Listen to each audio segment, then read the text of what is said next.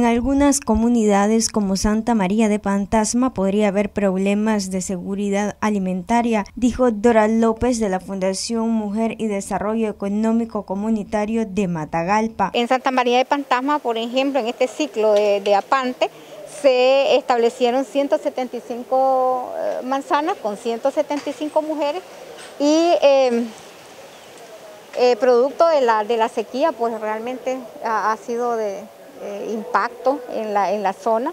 Eh, tomando en cuenta la situación de sequía y la información climática, eh, se eligió una, las mujeres eligieron una variedad, una variedad que se llama INTA sequía, INTA productivo sequía, y sin embargo, pues la, respuesta no fue tan favorable porque hubieron, hubieron pérdidas relacionadas con, el, con, la, con la sequía hasta de un 70%, pues ahí eh, se esperaban pues, rendimientos entre 20 y 25 y realmente no, no fue lo, lo, que se, lo que se tuvo. Hasta ahora, en este momento, están sacando su, su, su cosecha y ha sido pues altamente afectada. No estamos dentro del, ah, eh, del corredor seco, ¿verdad? De Santa María de Pan, comunidades de Santa María de Pantasma propiamente, sin embargo toda esa parte fue afectada. Agregó que las mujeres se han organizado y han guardado las semillas en bancos para el próximo ciclo que sería la de primera. Las mujeres